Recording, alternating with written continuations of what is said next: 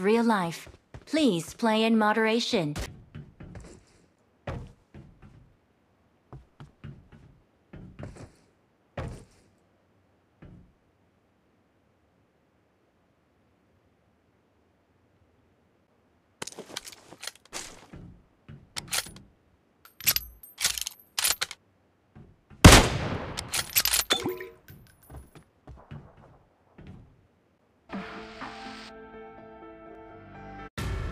Thank you.